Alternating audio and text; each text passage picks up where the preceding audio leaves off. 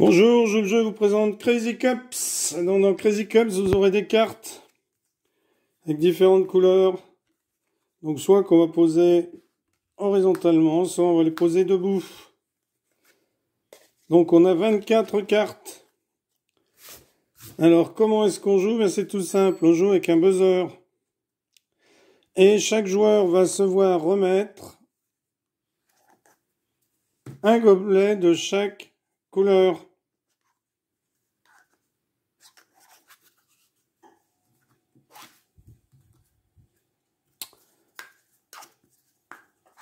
Voilà, donc on peut jouer de 1 à 4. Alors 1, c'est pas intéressant, on joue à 2. Donc c'est pas bien difficile, hein. le jeu est assez facile.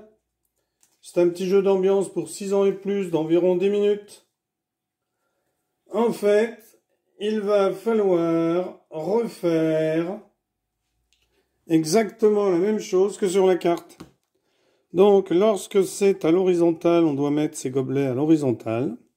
Donc, c'est le premier joueur qui aura mis le vert, le jaune, le noir, le bleu et le rouge, qui tapera sur la petite sonnette dès qu'il a fini. bien entendu, dès qu'une carte est retournée, tous les joueurs font la même chose. Alors, quand on joue à 4, bien entendu, on a un joueur ici, un joueur ici, un joueur ici, un joueur là. Donc ce joueur retourne, il va mettre la carte dans ce sens-là, ce qui fait que l'autre va l'avoir en inversé, mais il devra quand même mettre vert, jaune, vert,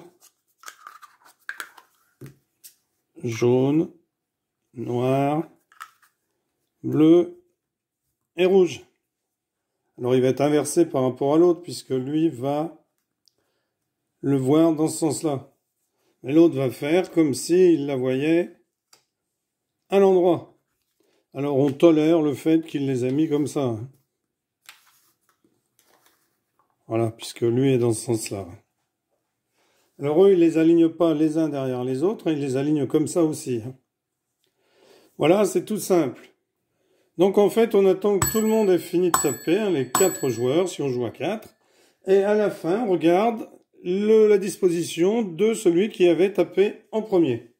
Donc ici, en l'occurrence, c'était là, vert, jaune, noir, bleu et rouge. C'est correct. Donc, il gagne la carte. Là, c'est ce joueur-là qui gagnerait la carte. Puis ensuite, eh bien, alors soit on remet ses gobelets n'importe comment, soit on les remet les uns sur les autres. Le mieux, c'est de les poser comme ceci, je pense, hein, c'est-à-dire en vrac devant.